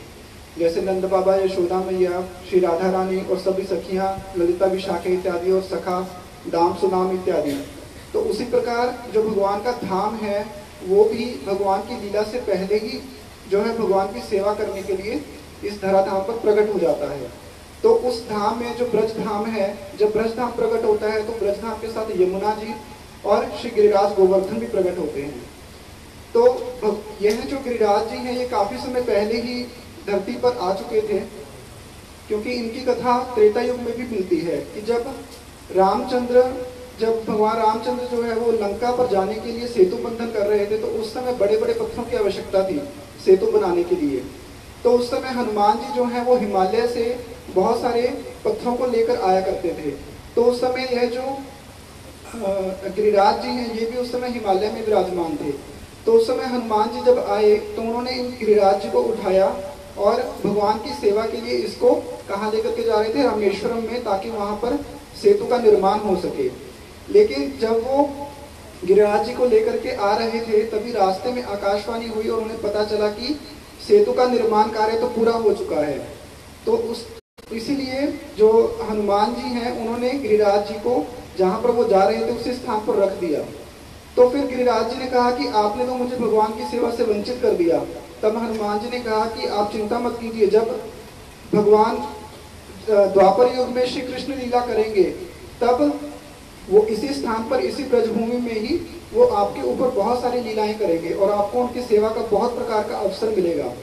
तो इसलिए जो गिरिराज जी हैं, इस जो अभी हम देख रहे हैं गोवर्धन में जो गिरिराज जी विराजमान हैं तो गिरिराज जी यहाँ पर आकर के विराजमान हो गए। इसलिए यहाँ पर जब गिरिराज जी थे तो गिरिराज जी को भागवतम में क्या बोला गया? हरिदास वर्य श्री राधिका रानी स्वयं गिरिराज जी की महिमा का वर्णन करते हुए कह रही हैं कि हंताय मदरी रबला, हरिदास वर्य यद राम कृष्ण चरण स्पर्श प्रमोद, प्राण मानम तनोति सहगो गण्यो त्योरियत स्वयं पानीय कंदर कंद मूली। कि यह जो गिरिराज जी क्या है, ये हरिदास वर्य अर्थात भगवान के भक्तों में ये सर्वश्रेष्ठ हैं। क्यों सर्वश्रेष्ठ हैं? क्योंकि ये भगवान की सब प्रकार से सेवा करते हैं। एक तो सबसे बड़ी बात भगवान के इन, भगवान राम और कृष्ण, अर्थात बलराम और कृष्ण दोनों के चरण कमलों का स्पर्श जो है, श्री गिरिराज जी को प्राप्त होता है। जब भी भगवान गौचारण की लीला करते हैं या अथवा सखियों के साथ श्री राधा जी के साथ बहुत सारे जैसे गान घाटी इत्यादि की लीला है और बहुत सारी जो लीलाएँ हैं इन गिरिराज जी की कंदराओं में करते हैं।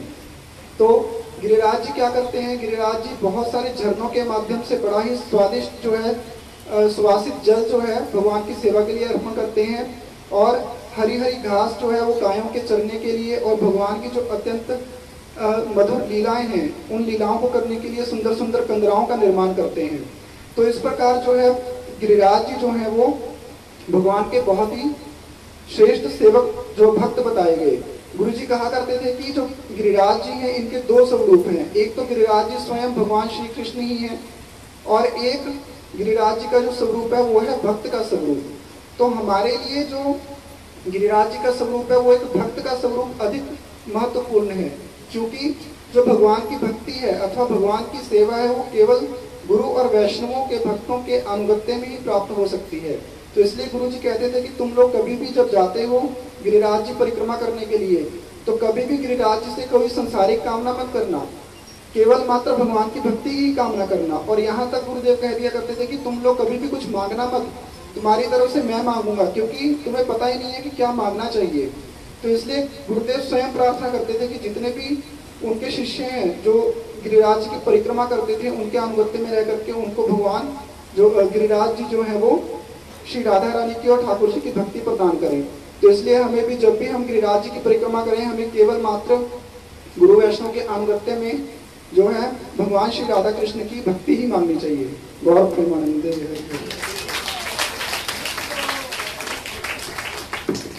गिरिराज बाबा की।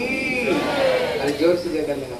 बोला श्री गिरिराज महाराज की जय जय श्री राधे आप लोगों ने बड़ी प्यारी प्यारी, मीठी मीठी गिरिराज की कथा सुनी बोले, गिरिराज, आए कहाँ? ये गर्ग संहिता में वर्णन आती है, एक समय भगवान की जो नित्य, जो गोलोक वृंदावन है, एक दिन राधा कृष्ण दोनों बैठे हुए थे। आपस आपस में चर्चा कर रहे थे, ऐसे एक सुंदर स्थान हो, जहाँ पर सारे सुंदर सुंदर झरनाएँ हो, सुंदर सुंदर पेड़ पौधा हो, सुंदर सुंदर वहाँ पर कंदराए हो, सुंदर सुंदर कुंज हो, सुंदर सुंदर झरनाए हो, सबसे सुंदर स्थान होनी चाहिए। तब श्री राधा रानी अपना हृदय से ही ये गिरिराज गोवर्धन को प्रकट करते हैं। इसलिए बोले, प्रकृत है मनसा जात। बोले, गिरिराज कहाँ से आई? बोले, राधा जी की हृदय से ये गिरिराज गोवर्धन प्रकट हुई कहते श्री भविष्य पुराण में बताए, बोले कृष्ण का नेत्र से ये गिरिराज गोवर्धन प्रकट हुए। एक दिन श्री श्याम सुंदर राधा रानी से बोले बोले, हे राधे, ये मरते जगत में मैं जाना चाहता हूँ। मेरे साथ में चलोगी, बोले, मैं नहीं जाती। बोले, क्यों? बोले, जहाँ पर यमुना नहीं, जहाँ पर गिरिराज गोवर्धन नहीं, जहाँ पर नंदगांव बरसाना नहीं, मैं तो वहाँ जाना नहीं चाहता हूँ। कृष्ण बोले, देखो राधे ये जो गोलोक वृंदावन देख रहे हो ना, मैं जब इसी मरते जगत में उतरूँगा, मैं अकेला थोड़ी जाऊँगा, संपूर्ण ये गिरिराज गोवर्धन को मैं उतार दूँगा। मेरे पिता माता सखाए भी जाएँगे, तेरी पिता माता तेरी सखियाँ भी जाएँगे, सबके सब चलेंगे। राधा रानी बोली, फिर तुम्हें चलेंगे। इसका मतलब है, हम ये जो भौम वृंदावन में जो देख रहे ना कहते ये भगवान ये गोलोक वृंदावन से ही उन्होंने उतार करके लाए। इसलिए बोले श्री कृष्ण चैतन्य प्रभु जीवे दया करी सपार शिव धाम सह भगवान जब आते हैं, परिकर धाम समेत को लेकर किसी मरते जगत में भगवान आते हैं। इसलिए कहती है, गिरिराज गोवर्धन जब आए, बोले, कहाँ पर आए? कहते, श्री श्री द्रोण और धरा इनकी बेटा बन करके श्री गिरिराज गोवर्धन हैं? ये गिरिराज, उनके बेटे बन करके श्री गिरिराज जन्म हुए। सारे देवता लोग प्रसन्न होकर के स्वर्ग से पुष्पों की बौछार की और गिरिराज गोबर में उन्होंने फूल बरसाए। बोले, श्री गिरिराज महाराज की बोले, अभी ये गिरिराज यहाँ पर कैसे आ गए? आप लोगों ने एक कथा सुनी। जब पुल बंध रहा था, श्री हनुमान जी सोच रहे थे, बड़े से बड़े पर्वत मिले और जल्दी से जल्दी पुल बंध जाए और मैया सीता की उद्धार हो जाए। इसलिए ये गिरिराज गोवर्धन को जब हनुमान लेकर के जा रहे थे, जहाँ पर श्री गिरिराज गोवर्धन जब वहीं पर हनुमान जी पहुँचे, इतने में उनको खबर मिला, अभी सेतुबंध बंधना समाप्त हो गया है। पर्वत का रख लो। पर्वत को वहीं रख लो। जब रखने लग गए, इतने में गिरिराज दुखी हो गए। बोले, अगर मैं वहाँ तक जाता, प्रभु की चरण की सेवा, में लगता माता सीता की सेवा में, आप तो मेरे को यहीं पर रोक लिए। बोले, कोई चिंता नहीं। यही राम ही जब द्वापर युग में श्याम बन करके आएँगे। तेरे को सात दिन तक कनिष्ठ अंगुल पर उठाएँगे। भगवान गैया चराएँगे यहीं पर कृष्ण रास रचाएँगे। कोई चिंता मत करो। ये एक कथा आती है। दूसरी कथा आती है, एक दिन श्री पुलस जी द्रोण और धरा, हैं इनके घर में कभी अतिथि बन कर और इनकी पुत्र रूप में गिरिराज गोवर्धन, पर्वत रूप में थे। बड़ा सुंदर पर्वत है। हर तरह का फल फूल से भरा पड़ा हुआ। अभी श्री पुलस्तर से रहते थे काशी में। वो काशी एकदम जैसे मरुभूमि जैसे था। वहाँ पर कोई सुंदर जंगल वन पानी नहीं। उन्होंने देखा बड़े सुंदर झरना है, बड़े सुंदर कुंज, गुफा। बोले, अगर इसको किसी तरह से वहाँ उठा करके ले जाओ ना ऋषि लोग भजन कर सकते हैं। तो उन्होंने द्रोणाचल से प्रार्थना की, आप अपना बेटे को दे दो। बोले, भैया, बेटे को अगर आपका घर में कोई आए, आपका बेटे दे दे, बोले, अब दे दोगे बोले, आप उसको ही पूछ लो, जाएगा कि नहीं? उन्होंने देखा, अगर मना कर दो मेरे को अभिशाप दे देंगे। बोले तो जा सकता हूँ, लेकिन दो शर्त पर। बोले, क्या शर्त है? बोले, पहला शर्त है, मेरे को हाथ में उठा कर ले जाना पड़ेगा। बोले, ठीक है। बोले, दूसरी शर्त, अगर बीच में कहीं मेरे को रख लिया तो मैं जाऊँगा नहीं। अगर कहीं अपवित्र हो गए। बोले, ठीक है, इतने में श्री पुलस ऋषि पूरा उन्होंने अपना हाथ ऊपर में श्री गिरिराज को उठा लिया। आते आते अभी जहाँ पर गिरिराज जब यहीं पर आए, अभी गिरिराज गोवर्धन कौन है? ये भगवान की कृष्ण के नित्य सेवक है। ये भगवान की सेवा करने के लिए आए। उन्होंने देखा, भैया, ऋषि पता नहीं कहाँ काशी मुझे फांसी देने के लिए ले जा रहे क्योंकि काशी ये मायावादियों का स्थान है। भगवान को निराकार निराकार मानने वाले। और ये ब्रज रसभूमि है। भगवान की लीला भूमि ये ब्रज भूमि है। मेरे को पता नहीं कहा काशी फांसी देने ले जा रहा उन्होंने भगवान से प्रार्थना की, ठाकुर जी, मैं तो आपका सेवक हूँ, ये मेरे को कहाँ ले जा रहे मेरे को अपना चरण में सेवा दो। इतने में भगवान ऐसे माया को फेराए इतने ज़ोर से लघु संख्या लगा। उन्होंने लघु संख्या को रोक नहीं पाए। और लघु संख्या में बैठे ना और लघु संख्या खत्म ही नहीं हो घंटे तक बैठ रहे। इसको बाद में जब उन्होंने हाथ पैर धो करके गिरिराज को उठाने के लिए गए, वो टस से मस नहीं हुए। बोले, गिरिराज, उठो। आपने क्या प्रतिज्ञा की थी। बीच में रखूँगा तो नहीं जाऊँगा। अपवित्र होकर के मेरे को स्पर्श नहीं कर सकता हो। सारे अब की प्रतिज्ञा खत्म। मैं तो यहाँ से जाने वाला नहीं। फिर उन्होंने अभिशाप दे दिया। बोले, जाओ तो टुकड़े टुकड़े हो जाओगी। और हल पल पल में एक तिल एक तिल तुम खय होते जाओगे। उन्होंने देखा, मैं तो इसीलिए यहाँ रहना चाहता हूँ ठाकुर को सेवा के लिए। इन्होंने उल्टा अभिशाप दे दिए। उन्होंने प्रार्थना की, मेरे को ये आशीर्वाद दो, जब तक मैं प्रभु आकर के लीला नहीं करके जाते हैं, तब तक मैं पूर्ण रूप में रहूँ। जब भगवान चले जाए, फिर उनकी अभिशाप लागू हो। फिर उन्हें तथास्त बोल दिए। इसलिए जब घोर कलिजुग आएगा ना, ये गंगा नहीं रहेगी, ये यमुना नहीं रहेगी। गिरिराज धीरे धीरे धीरे धीरे धीरे धीरे क्षय होते जा रहे नीचे धीरे धीरे धीरे धीरे दबते हुए जा रहे इसलिए हमारे गुरु जी कहते थे, भैया, भविष्य में कली बड़ा भयंकर रूप धारण करने वाले हैं। इसलिए जितना जल्दी से जल्दी हो, भगवान की भक्ति करो। और ठाकुर जी को पास में, वापस चलो। ठाकुर जी को पास में चले चलो, जल्दी जल्दी। कहते सब गिरिराज की कथाएँ हैं। बोले, ये गिरिराज कृष्ण जो धारण किया, उसका कारण किया? अभी प्रभु जी बता रहे थे। इसका पहला कारण है, कहते भक्ति एकनिष्ठ होनी चाहिए। भक्ति बहुनिष्ठ भक्ति नहीं होनी चाहिए। इसलिए उन्होंने साधारण देवता नहीं, उन्होंने इंद्र का देव, इंद्र का पूजा बंद करवाया। इंद्र कौन है? सारे देवता का राजा। बोले, भैया, झोली फैलाना है ना? सबको सामने झोली मत फैलाओ। फैलाना हो तो श्री गिरिराज को चरण में झोली फैलाओ। वही तुम्हारी झोली को भरने वाले हैं। सब कुछ वही देने वाले गिरिराज गोवर्धन। श्री गिरिराज महाराज की इसलिए वो एकनिष्ठ भक्ति की उन्होंने शिक्षा दिया है सर्वधर्मान परित्यज्य माम एकम शरणम ब्रज। सर्व धर्म छोड़ करके मेरे शरण में आओ ये एक कारण है। दूसरा कारण है इंद्र का अभिमान हो गया था। मैं स्वर्ग का राजा हूँ ये मेरे प्रजाएँ हैं। नंद बाबा श्री कृष्ण सोचे जिनके खड़ाओं में सिर पर धारण करता हूँ जिनके झूठन खाता हूँ, जो मेरे कान को मोल देती है, जिनका मैं स्वयं सेवक बना हुआ, तुम्हें पता ही नहीं ये ब्रजवासियों का कितना महिमा। ये ब्रज एक रज में, इतने शक्ति ब्रज की एक रज में। ऐसे कितने इंद्र, कितने स्वर्ग को ये ब्रज रज प्रकट कर सकता है? हैं? ये ब्रजवासी साधारण कोई नहीं। कितना वृंदावन के वृक्ष को मरम ना जाने कोई। डाल डाल और पत्ते पत्ते श्री राधे राधे ये ब्रज को भी साधारण भूमि नहीं। अभी इंद्र का अभिमान को तोड़ना था। तीसरा कारण बताए, ये ब्रजवासियों को साथ में सात दिन तक प्रभु उत्सव करना चाहते थे और निश्चंद रूप में गोपियों से राधा रानी से मिलना चाहते थे। लेकिन जो सर्वश्रेष्ठ कारण है, कृष्ण गिरिराज क्यों उठाए? कि सर्वश्रेष्ठ कारण किया? इसका कारण बताए, भगवान की जो सर्वश्रेष्ठ लीला की रास लीला है। अभी भगवान कृष्ण रास लीला करना चाहते हैं, लेकिन बगैर ब्रज गोपियों के बगैर वो रास नहीं कर सकते हैं। इसलिए उदाहरण दिया है, ब्रज का हीरो कौन है? बोले, कृष्ण ब्रज का हीरो है। बोले, ब्रज की हीरोइन कौन है? बोले ब्रज की गोपियाँ सब सब हीरोइन उदाहरण दिया जब एक हीरो किसी हीरोइन को आकर्षण करना चाहता है, वो हीरो क्या करता है? वो हीरोइन को सामने कुछ लोगों को इकट्ठे करेगा और उनको साथ में खूब मारपीट करेगा। और उसको सामने सबको परास्त कर देगा।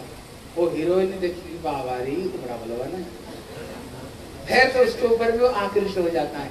इसलिए ब्रज का हीरो तो कृष्ण हीरोइन तो गोपियाँ। अभी कृष्ण सोच रहे कि, कि आकर्षण कैसे करूँ। इसलिए भगवान दो लीला करते हैं। एक तो उन्होंने कालियों को सर पर नृत्य किया है। बोले तुम लोगों ने बड़े बड़े कलाकार देखे होंगे। कोई रस्सी के ऊपर नाचने वाले कोई गिलासिया के ऊपर नाचते हैं कोई तलवार के ऊपर नाचते हैं। कोई सर पर कलश रख कर नाचते हैं। लेकिन तुमने कभी देखा सांप के सर के ऊपर कोई नृत्य करता है? कालियों की सब फाड़ था। वो एक साथ में प्रभु को काटना चाह रहा था, एक साथ में। प्रभु ने एक सर से, दूसरे दूसरे से, तीसरे तीसरे से, चौथे इतने जल्दी उन्होंने अपना चरण को चला रहे थे। सारे देवता लोग उतर करके आ गए। बड़े सुंदर वाद्य बजा रहे हैं और भगवान नृत्य कर रहे हैं। इसलिए सूर्यदास जी एक सुंदर कीर्तन लिखते हैं। ताण्डवगति मुण्डन पर नाचत गिरिधारी ताण्डव गति पर नाचत गिरिधारी पं पं पं पद पद गत पं पं पम पम फन पौ पर पम पम पम पग पट कत पम पम पम पन पर बिंग बिंग बिंग बिनत करत बिन बिन बिन बिनत करत नाग मुंडन पर नाचत गिरिधारी तांडव गति मुंडन पर नाचत गिरधारी तांडव गति मुंडन पर नाचत गिरिधारी सन सन सन सन का गन गन गन गंधर्व गान सन सन सन सन कार्तिक गण गण गण सर्वाधिक नाम नाम नाम नारद मुनि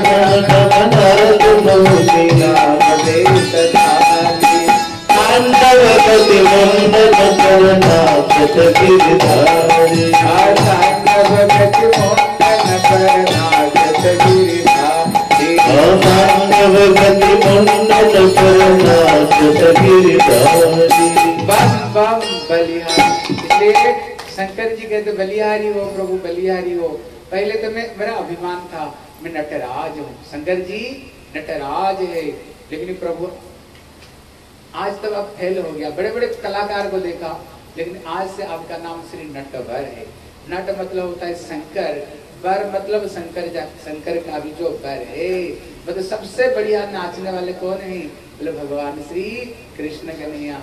इसलिए उन्होंने ये एक लीला की। बोले, दूसरे लीला क्या की? बोले, उन्होंने श्री गिरिराज गोवर्धन को उठाया। अब बताओ तो कृष्ण का उम्र कितना था? गिरिराज जब उठाया? सात साल का। और कितना दिन तक उठाया था? सात दिन तक। और कितना क्रोस गिरिराज सात क्रोस। आपको अगर पाँच मिनट बोले ना हाथ को ऐसे करो, पाँच मिनट। आप देखना, पाँच मिनट अगर रख लिया, दस मिनट बोलो, फिर तो हाथ उठना शुरू हो जाएगी। लेकिन कृष्ण है, कहते ना, अरे, मेरे लिए कोई बड़ी भारी बात थोड़ी है, मैं तो उल्टा हाथ से कर सकता हूँ। बोले, उल्टा हाथ नहीं, सबसे छोटे अंगुल, बोले, छोटे बोले, छोटे अंगुल नहीं। बोले, नख को ऊपर में गिरिराज उठा लिया इसलिए कहते कछु माखन का बल बढ़ो कछ गोपन ने करी सहाय राधा रानी की कृपा से गिरिवर बोले श्री राधा रानी की इसलिए राधा रानी उसी समय ना ऐसे टेढ़े नज़र की थी। बोले गिरिराज अगर तू नीचे आओगे ना जला करके तेरे को मैं राख बना दूँगी। इसलिए राधा रानी की तिरछी हाँ, केवल उनकी भ्रुकुटी पर गिरिराज गोवर्धन को टिका हुआ था श्री गिरिराज गोवर्धन। बोले श्री गिरिराज महाराज की इसलिए एक दिन मैया जसोदा लड्डू कचौड़ी मालपुआ रात भर चकाचक बना रही थी। कृष्ण को यद्यपि सात साल दो महीना के हो गए कृष्ण अभी तक वो देख रहे थे कर रहे थे। लेकिन कृष्ण श्री गिरिराज की महिमा को दिखाने के लिए कृष्ण ने बोले माता जी ये रात भर लड्डू कचौड़ी मालपुआ क्यों बना रहे हो। क्या कल मेरे जन्म तिथि बोले, नहीं। बोले फिर फिर क्या दाऊ भैया की बोले, नहीं। बोले फिर बोले, जा पिताजी को पूछो। अभी कृष्ण पिताजी की गोद में बैठी गए, दाढ़ी पकड़ लिए बोले, पिताजी पिताजी, ये भैया आज इतने लड्डू कचौड़ी मालपुआ क्यों बना रहे हैं? कल क्या मेरी जन्म तिथि बोले, नहीं बेटा। बोले फिर बोले, कल हम लोग श्री गिरिराज गोवर्धन की पूजा करेंगे। बोले, पिताजी, गिरिराज कौन है? बोले, ये ये श्री पूजा करेंगे श्री इंद्र देवता की। बोले इंद्र देवता कौन है? बोले, स्वर्ग का राजा है। बोले, हम लोग ग्वाला है इनके अधीन में ये मेघ रहता है। इनके आदेश पर बारिश होती है। गैया घास खाते हैं हैं? और दूध देते हैं। दूध से सब कुछ बनता है। इसलिए हम श्री इंद्र देवता की पूजा करेंगे। बोले, पिताजी, इंद्र की गांठ में कुछ है नहीं। इनको प्रार्थना करना, वो भगवान से प्रार्थना करते हैं। भगवान के आदेश से हो फिर जा करके ये इंद्र कुछ कर सकता है। बोले, पिताजी, ये जो गिरिराज गोवर्धन है, ये ब्रज का ही साक्षात देवता है गिरिराज। घास, यहीं सर होता है। बारिश आकर टकरा करके यहीं पर बरसाता है। गैया यहीं पर घास खा कर दूध देते हैं। इससे फल, फूल, सब कुछ पिताजी इससे मिलता है। हमारा ब्रज का प्रकट देवता श्री गिरिराज गोबर श्री गिरिराज गोवर्धन है। इसलिए पिताजी कब से पूजा कर रहे हो? बोले, जब से होश आया। बोले, देखे हो कभी? इंद्र को देखे बोले, नहीं, बोले, पिताजी, अगर आप ये गिरिराज गोवर्धन की पूजा करोगे, ये प्रकट रूप में दर्शन देंगे और ये सबकी इच्छा पूरी करेंगे, जो मांगोगे वही देंगे। बोले, लाला, इन्हीं आँखों से हम देवता दर्शन करेंगे। बोले हाँ। बोले, भैया, हमने कभी देवता दर्शन किया ही तो हम श्री गिरिराज गोवर्धन की पूजा करेंगे। बोले, ब्रजमंडल में ढिंडरा पिटवा दिया। सबके सब ब्रजवासी हैं? जितना जितना बना रहे थे ना सब सब डबल डबल बनाए गिरिराज के लिए। और तो चार तरह का तो चावल बनाया, हैं? आप लोग कुछ चावल बनाए यहाँ पर? कितना तरह का चावल बनाया? इसलिए एक तो फीका चावल, एक मीठा चावल, एक नमकीन, एक मटर पनीर डाल करके, हैं? और यहाँ पर तो राजस्थान के लोग हैं ना कौन कौन राजस्थान के? वहाँ पर दो तरह का दाल बाटे चूरमा बनाए, एक हंसना और एक रोना मतलब हंसना मतलब जिसको पतले में रखते ही जो खींच जाए। और रोना मतलब जिसे घी टपकता है दाल बाटी चूरमा बड़े सुंदर बनवाए, दो तरह का कढ़ी बनवाए, एक राड कढ़ी, एक सुहागिनी कढ़ी। सुहागिनी कढ़ी जिसमें पकौड़ा डाल कर बनाते हैं राड कढ़ी जिसमें बगर पकड़ के जो कड़ी बनाते हैं। इसलिए उसका नाम पड़ेगा अन्नकूट। अन्नकूट मतलब क्या है? कूट मतलब होता है पर्वत। अन्न के पर्वत, रोटी के पर्वत, मालपुआ के पर्वत, कचौड़ी के पर्वत, हैं? सारे ब्रज में कितने गाँव, बोले तीन सौ पंचमी गाँव है। तरली, बरली, सही सही ऊँचा गाँव नीचा गाँव नंदगांव, बरसाना, हैं? इसलिए ब्रज में अभी भी तीन सौ पंचमी गाँव से ब्रज में इतना सारे खाना बना करके लाए ना, पूरा के पूरा गिरिराज गोवर्धन एकदम भर गया खाने खाने में। कृष्ण अपना हाथों से पंचामृत के द्वारा पुरुष सुक्त मंत्र पढ़ करके उन्होंने श्री गिरिराज की अपना हाथों से उन्होंने पूजा करवाए पूजा करा के उन्होंने ठाकुर जी को स्नान जब कराए ना, एक घटी गंगा पानी था। सर पर डाले तो कैसे नहीं भीगा बोले, भैया, पानी लेकर का बोले, कुआ का ना तालाब का बोले, नहीं, गिरिराज की अभिषेक केवल गंगा पानी में होनी चाहिए। बोले, कन्हैया, हमारा इंद्र तो अच्छे थे। किसी पानी में भी नहा लो तेरे ऐसे ठाकुर गंगा पानी बगैर नहाएँगे नहीं, है? गंगा पास में थोड़ी है। हरिद्वार जाओ, सोरो जाओ, फिर गंगा। हमारा तो वही इंद्र देवता अच्छो। तभी तेरे गिरिराज को हम गिरिराज मानेंगे। अगर यहाँ पर अगर ये गंगा को प्रकट करते तो बोले चिंता क्यों कर? तो आँख बंद कर सबके सब। अभी मैं मानस गंगा को प्रकट करूँगा। भगवान अपना मन मन में गंगा को स्मरण करते ही सचमुच से गंगा देवी स्वयं प्रकट हो गई। बोले श्री मानसी गंगा की इसलिए आप देखना गिरिराज सब जगह में ऊँचा है लेकिन मानसी गंगा में ना देखना नीचा है। बोले क्यों?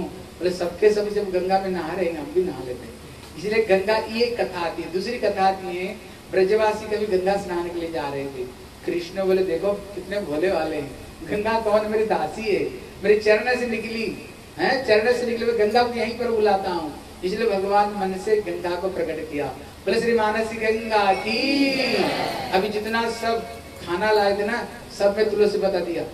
तुलसी बता दे रहे हो सबको हाँ सबको तुलसी बता दे दो और यहाँ पर कौन पूजा मंत्र पढ़ दो तो।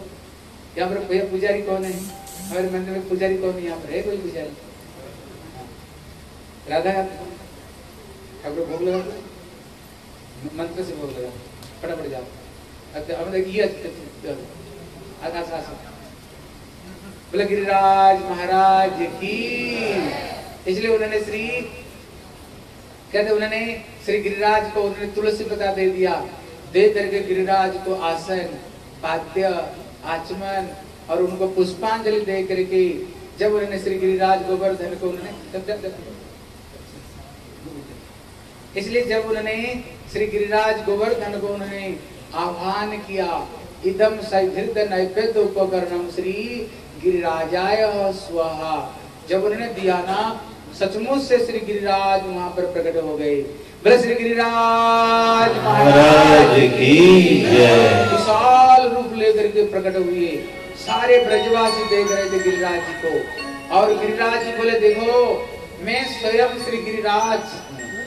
आज का दिन आप लोगों को ध्यान देकर सुना आज का दिन ये गिरिराज की पूजा में केवल एक अन्न का दाना जो भोग लगा दी किसी जीवन में कभी अन्न वस्त्र की कमी नहीं होगा। घर में माँ लक्ष्मी भरपूर रहेगी। और गिरिराज जी कहते हैं, अगर ये गिरिराज पूजा को जो अनादर करेगा ना, वो जन्म जन्मांतर में कंगाल कि गिरिराज स्वयं आशीर्वाद दिए। इतने में गिरिराज अपना हाथ पसार पसार करके, वो खा रहे थे, हाथ पसार पसार करके खा रहे थे। मिनट में उन्होंने सब कुछ खा लिए। बोले, आनो रे आनो रे, और लाओ और लाओ। इसलिए जब परिक्रमा करने गए होंगे, वो सबसे पहला गाँव का नाम आनड़ ग्राम क्योंकि वहीं पर ही गिरिराज की पूजा भगवान ने की थी। अभी ब्रजवासी बोले, प्रभु, ये गरीब ब्रजवासी, आप इसी में ही संतुष्ट हो जाओ। तब गिरिराज तृप्ता बोल करके बोले, मैं संतुष्ट हो गया हूँ। लेकिन भगवान को जो अर्पण किया ना, भगवान तो सब कुछ खा लिए। कृष्ण का सखा था श्रीदाम है, मधुमंगल। बोले, प्रभु, तुम्हारी ऐसे भूखे ठाकुर है, सबके सब खा लिया, एक अन्न भी नहीं रखा। हम जो भी इंद्र की पूजा करते थे ना वो जो सूखा प्रसाद होता, एक महीना तक तो सूखा प्रसाद खाते थे। तेरे ऐसे भूखे ठाकुर सबके सब खा लिए। अगले साल से तेरे ठाकुर की पूजा ही हम नहीं करेंगे भगवान बोले, ऐसे मत कर, कहा कर ठाकुर जी को। आँख बंद करो, आँख बंद किए तो गिरिराज ऐसे हाथ घुमा दिया। हाथ घुमाते ही जो एक किलो लड्डू लाए थे ना, बेसन का हो गया दो किलो। जो दो किलो रसगुल्ला हो गया चार किलो। जो पाँच किलो का बनाया था, हलवा हो गया, दस किलो। जितने जितने लाए थे ना, सब डबल डबल हो गए। ब्रजवासी तो बोले, भैया, हम तो थक गए। बोले, क्यों? बोले, पता ही नहीं था ये डबल डबल हो जाएगा, नहीं तो और थोड़ा ज़्यादा होना कर इसका मतलब है, गिरिराज की भोग लगाओ ना कि कभी, कहते ना, प्रसाद कभी कम नहीं पड़ता है। प्रसाद में ज़्यादा होता है। कृष्ण ने कहा, ब्रजवासियों, चलो। चकाचक प्रसाद खाओ और चलो खाते पीते हुए कीर्तन करते हुए श्री गिरिराज की परिक्रमा लगवाएँगे। हमारे श्री जीव गोस्वामी बड़ा सुंदर वर्णना करते हैं। बोले, सबसे पहले कौन चल रहे थे? बोले, संत ब्राह्मण चल रहे थे। बोले, उसको पीछे किया कौन चल रहे थे? बोले, जितने गैया थे, वो सारे गैया सबके सब चल रहे थे बीच में। और पीछे कौन चल रहे थे? बोले, जितने ब्रजवास चल रहे थे। और सबसे पीछे, बोले, जितने माता है, और सबसे पीछे से राधा रानी चल रही थी। और सबके साथ गिरिराज की कीर्तन करते करते करते करते चल रहे थे। चलते चलते अभी राधा रानी लास्ट में, बीच में कृष्णा, अभी राधा जी के मन में इच्छा हो रही है, क्या श्याम सुंदर, बीच बीच में मेरे को थोड़ा दर्शन देंगे? कृष्ण क्या थोड़ी दर्शन देंगे? तभी हम अपना प्रिय तो मैं समझूँगी, अगर मेरे को दर्शन देते देते चले। अभी राधा जी के मन तो कृष्ण समझ गए।